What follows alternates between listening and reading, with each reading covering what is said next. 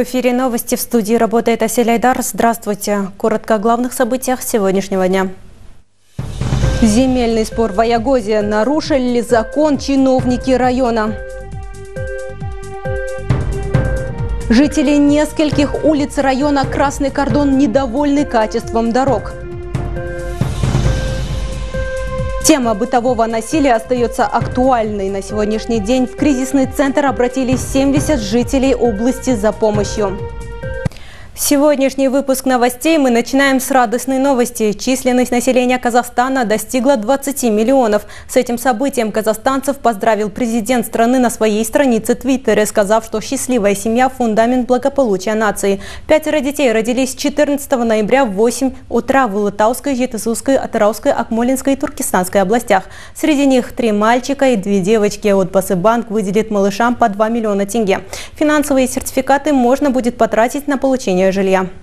Жалпы демография динамикасына келсек, что касается динамики демографии в целом, то в год обретения независимости нас было 16,4 миллиона человек. С тех пор население страны выросло более чем на 22%. Если говорить о росте численности населения по регионам, то наибольший рост населения наблюдается в Шимкенте, Туркестанской и Мангистауских областях на 22-24%. Казахстанцы давно ждали, когда население страны превысит 20 миллионов человек. И вот в ноябре 2023 года этот рубеж был достигнут. Этой новости радуются и жители нашего города. Отлично. Отлично? Конечно. Пожелания ребенку? Конечно. Здоровье маме, во-первых, и ребенку быть крепким. Хотим, чтобы дети были здоровые, и родители были здоровые, счастливые, работали. Это все зависит от государства. Поэтому процветание нашему Казахстану. Все у нас хорошо. Должно быть еще лучше. Так это хорошо, молодцы. Молодцы. А что я еще могу сказать? Дай Бог здоровья, что он родился. Угу. Что, и больше всего не могу ничего сказать. Главное, чтобы был мир на земле и здоровье у всех. В региональной службе коммуникации прошел брифинг Акима Бескарагайского района Талгата Муратова. В своем выступлении глава района рассказал о развитии малого и среднего бизнеса, сельского хозяйства, о проводимой работе по благоустройству и в целом об основных вопросах, характеризующих состояние дел Бескарагайского района. Талгат Муратов был назначен Акимом Бескарагайского района 6 октября 2022 года. За это время в районе была проведена большая работа по его развитию. К примеру, бюджет за 9 месяцев текущего года исполнен на 125,7% при фактическом поступлении 1 миллиона 9,5 тысяч тенге. Бюджет района на 2023 год – запланирован в объеме 7,2 миллиарда тенге, в том числе доходная часть бюджета 1,2 миллиарда тенге, субвенции 1,1 миллиард тенге, трансферты из вышестоящих бюджетов 4 миллиарда тенге. За 9 месяцев 2023 года план, план собственной доходной части бюджета исполнен на 125,7%. По информации Акима, в Бескарагайском районе планируется строительство санатория с грязолечебницей и зоны отдыха на озере Шошкалы. Для реализации проекта прорабатывается вопрос автомобильной дороги от трассы семей Павлодар до самого озера. К слову, в текущем году ведется средний ремонт подъездных дорог к селам Ундру, Жиланды, Карабас и Бегенскому лесхозу на общую сумму 312 миллионов тенге. Можно сказать, что Ундру, Жиланды, Карабас уже закончен, Бегенский лесхоз э, вот сегодня на днях уже тоже вводится в эксплуатацию. Общая протяженность около 9 километров. Отметим, в рамках проекта «Аул Ельбесыга» в селе Бескарагай проведен капитальный ремонт детского сада на 90 мест. В селе Канонерка проведен капитальный ремонт кровли здания сельского клуба, а также средний ремонт улиц в селах Старая крепость, Букибай и Бескарагай. Э, ведутся работы по разработке проектной сметной документации на проведение реконструкцию селах Бостал, Башкуль и Кривинка, проектировщик ТО «Стройпроект инвертизация», по селам Канонерка, Малая Владимирка, ТО «Шингор проект». На данный момент комплектуются рабочие проекты для подачи на портал Государственного ведомства экспертизы проектов. Из 28 населенных пунктов Бескарагайского района 24 обеспечены централизованным водоснабжением. Ведутся работы по строительству водопроводных сетей в селах Ерназар, Жетыжар, Бескарагай и Будине. Аким района планирует продолжить работу по созданию благоприятного инвестиционного климата в районе, внедрению передовых технологий в сельскохозяйственную отрасль, развитию инфраструктуры и жилищного строительства, благоустройству населенных пунктов, повышению качества жизни населения. Аселяйдар Нурлану Розалин, телеканал «Семей».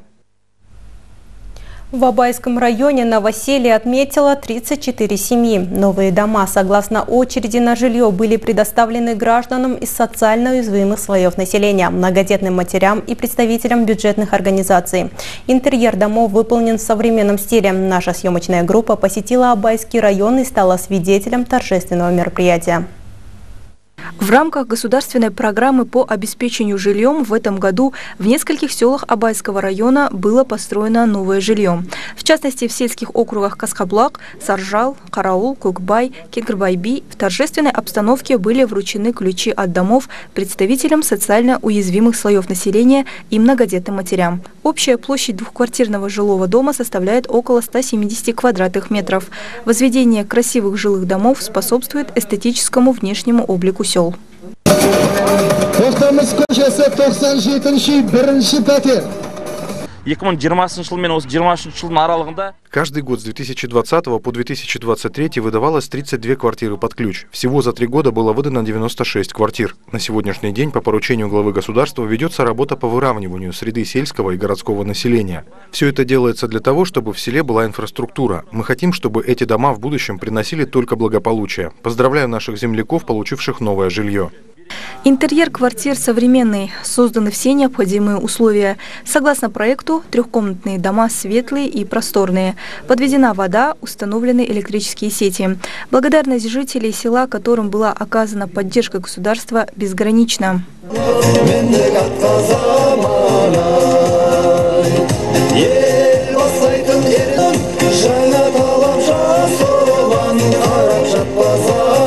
Биылғы жылы мемлекет тарапынан бізге Государство оказало нам большую поддержку. Мы получили новое жилье. Спасибо нашему государству, Акиму области, Акиму района, Акиму села. Мы и наши дети очень рады, что в селе строятся новые дома. Дома обеспечены всем необходимым. Вода, электричество, все имеется. Большое спасибо. Жас отбасылар баспаналы болып жатыр Сегодня молодые семьи получают ключи от новых домов. У моей невестки шестеро детей. Огромная благодарность главе правительства, области, администрации района, отделу жилищно-коммунального хозяйства за такую возможность. Интерьер домов отличный, чисто и уютно. Имеется все самое необходимое. Настроение хорошее. Я родился и вырос в Абайском районе. У меня есть один сын и одна дочь. Хочу поблагодарить Акима Абайского района, администрацию района за то, что мы получаем новое жилье. Интерьер дома хороший, красивый, построен по современным стандартам. Я очень рад. В Абайском районе совершается много благих дел. В ближайшее время будут вручены ключи от еще четырех домов в селе Караул и четырех домов в селе Кундузда. Малика Мухтарова, Аслан Ерцпаев, Айдос Айткалиев, телеканал «Семей». Состоялось очередное заседание Совета по этике Агентства по делам государственной службы в области Абай. На собрании было рассмотрено несколько вопросов. Самый основной касался земельного спора в Аягузе. Земельная комиссия нарушила законодательство при выделении земли крестьянам. В отношении выводов компетентных органов была проведена служебная проверка. О ходе дела расскажет наша коллега. Прокуратурой области Абай внесено представление в департамент по признакам совершения дисциплинарного проступка, дискредитирующего деятельность членов Аягосской районной земельной комиссии.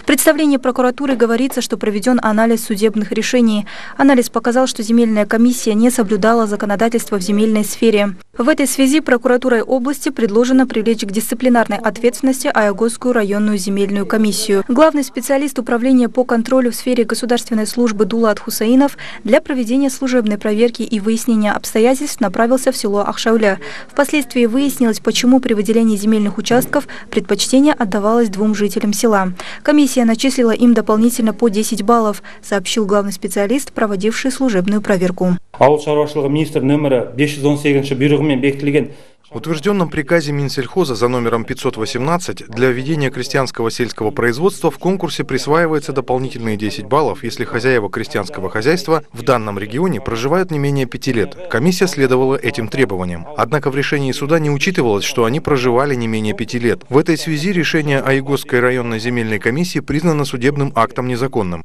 Суд признал решение земельной комиссии незаконным, однако документы, подтверждающие проживание двух граждан в селе, суду не представлены. Областной суд также оставил решение суда первой инстанции без изменения. Главный специалист поинтересовался, действительно ли два гражданина проживают в селе с населением около 800 человек. Ақшаулы ауылына барған кезде жаңағы мен ауыл тұрғындарымен жеке сөйлестім При посещении села Акшаули я пообщался с жителями села, участковым, специалистами СВА. Согласно определению Акимата, граждане Кунанбаев и Байбаджанов в 2017 году переехали из Алматы и предоставили справку о том, что проживают в данном селе. Жители также подтвердили, что они оба проживают в селе. Члены земельной комиссии не могли участвовать в судебном процессе, несмотря на то, что доставили документы в Верховный суд столицы и пытались доказать свою правоту хатшысының өзі міндетін дұрыс атқармағандықтан Мы не смогли попасть в суд из-за неправильного исполнения своих обязанностей секретаря суда. Все доказательства были у нас на руках, но в суде мы участвовать не смогли. Мы сказали секретарю, что проехали 1200 километров, чтобы попасть в суд. Секретарь вышла к нам и сказала, что решение суда осталось без изменений. Мы ничего не знаем. По вине секретаря суда мы не смогли участвовать в суде в Астане. Таким образом, члены земельной комиссии не смогли доказать в Верховном суде, что оба гражданина проживали в данном селе. Рассмотрев дело, члены Совета по этике установили, что нарушений со стороны членов земельной комиссии нет. Допущены недостатки в рассмотрении дела из-за непредставления соответствующих документов в законодательные органы, сказал председатель Совета. Нурлан Даулеткалиев предложил прекратить дисциплинарное дело, учитывая, что земельная комиссия не совершала действий, дискредитирующих государственную службу. Члены Совета единогласно одобрили решение. қызметшілерге қатысты тәртіптік істе По данному делу члены Совета единогласно приняли решение о прекращении дела, поэтому к дисциплинарной ответственности данные лица привлечены не будут. В ходе служебной проверки установлены обстоятельства, не учтенные в суде первой инстанции. Отмечается, что областная прокуратура взяла за основу решение суда первой инстанции, сообщил представитель департамента, проводивший служебную проверку. Таким образом, прекратилось дело государственных служащих, а Ягодская районная земельная комиссия при выделении земель опиралась на закон. На Совете по этике были рассмотрены и другие вопросы. Малика Мухтарова, Нургуль Садыкова, Анатолий Тернов, телеканал «Семей». Жители нескольких улиц района Красный Кордон недовольны качеством местных дорог. С 90-х годов их ни разу не ремонтировали. Сейчас по дорогам, которые буквально состоят из грязи, стало сложно передвигаться пешком. Наша коллега продолжит тему. Нашу съемочную группу встретили жители улиц Короткая и Карагайлы. Они рассказали, что уличные дороги не ремонтировались с 90-х годов. В это время года люди не расстаются с резиновой обувью, ведь вся улица в грязи. К ответственным органам жители обращались неоднократно, однако точного ответа так и не получили. Сколько раз мы отправляли жалобы, писали письма, подписывали их коллективно и относили в Акимат. Здесь тянут водопровод, и теперь вообще невозможно ходить. И звонили, собирали и собрания, и вот осенью у нас тоже акиматы, представители были акимата э, городского. Сказали, все будет у вас, все, конечно, поэтапно, но до сих пор ничего нет. Вот эта вот грязь у нас, вот которую вы сейчас приехали, нитка в этих труб прошла там. Здесь ничего не ковыряли. Вот это каждую весну у нас такая, мы не знаем, как детей водить. Когда снега много, вообще машины стараются, каждая машина проехать так, чтобы ей было удобно, и детям по этому гребешку ходить вообще не то, что детям, а даже людям. В этом районе проживает много людей преклонного возраста и дети. Они говорят, что ходить по этим дорогам – одно мучение. Уличного освещения тоже нет, не установлены даже столбы. С наступлением вечера на улице ничего не видно. По словам жителей, были случаи, когда дети падали в грязь и не могли дальше идти на занятия. Освещения практически вообще нигде нет, кроме как вот э, лампочки на своих дворах. Все, освещения нет. Посмотрите на наши столбы.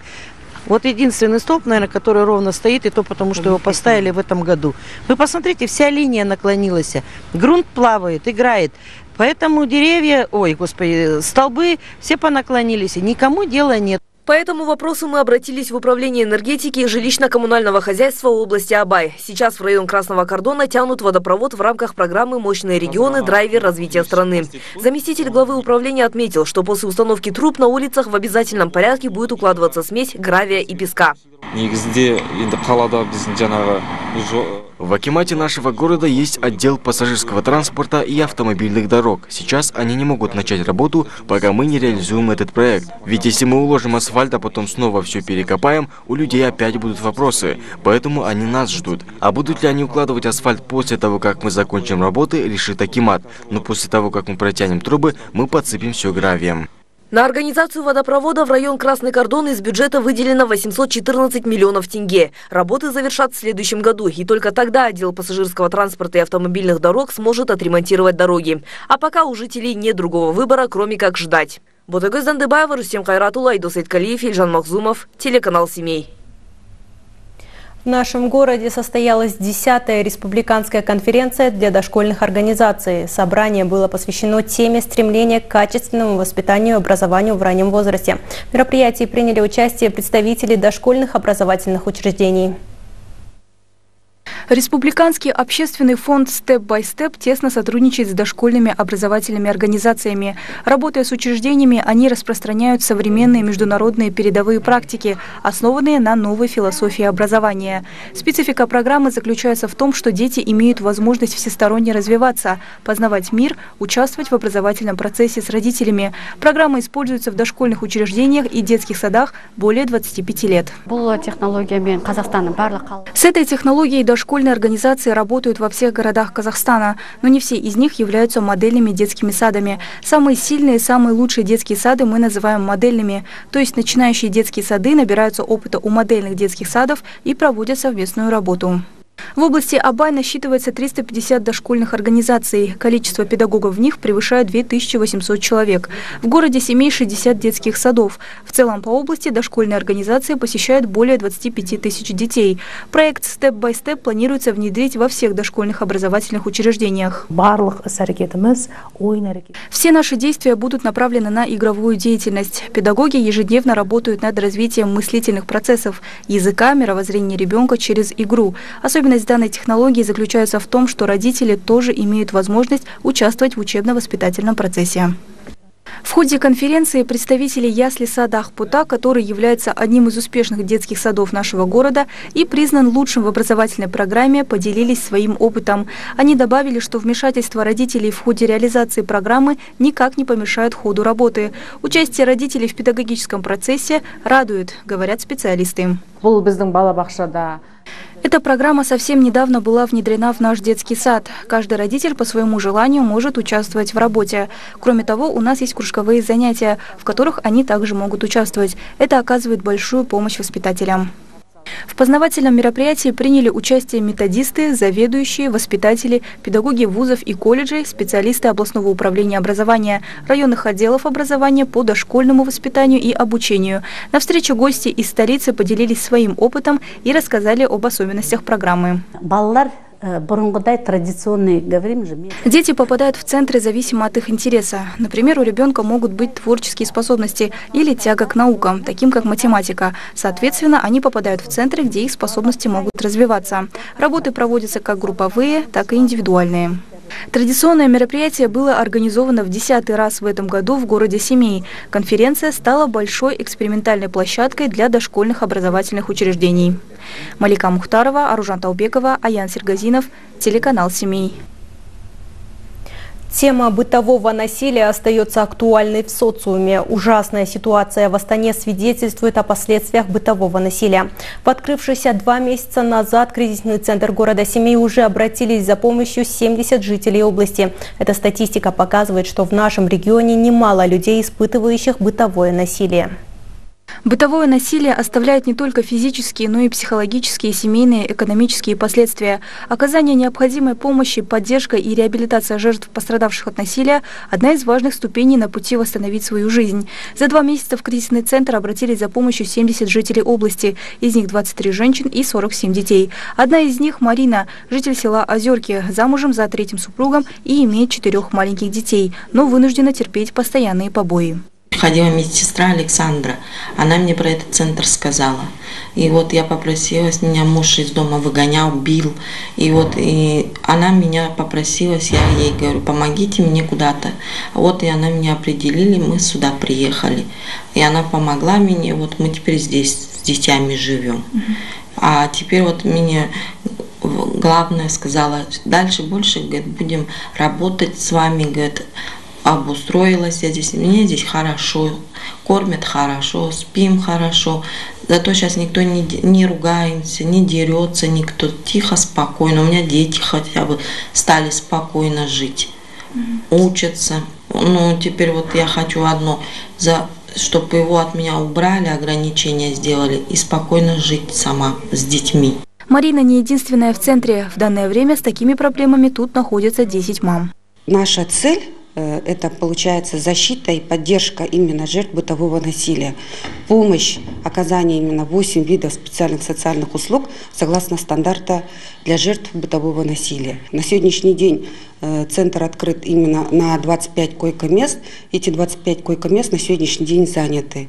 Это 10 мам и 15 детей. Получатели, э, которые поступают к нам, они приходят именно Э, проблема в семье именно недостаток ресурсов.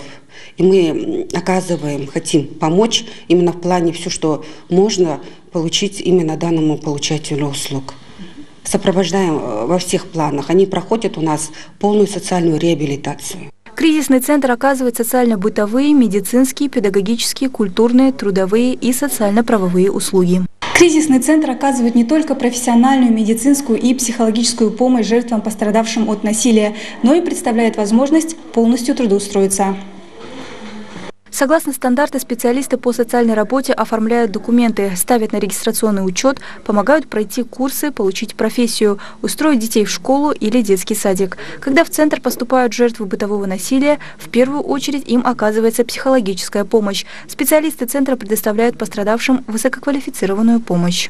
Все методики, которые а, используются в психологии. Это консультативные, психотерапевтические, да, это гештальтерапии, это э, разные э, методы использования сказкотерапии, это арт-терапия, музыкотерапия. Все методы используются, э, которые используются консультативной в терапевтической форме психологии, чтобы женщина могла разобраться, да, с каким человеком она живет, да, что такое абьюзер, что такое насилие, какие виды насилия бывают, и что это не норма, что это вредит не только ее здоровью, да, ее жизни, но и развитию и здоровью жизни ребенка.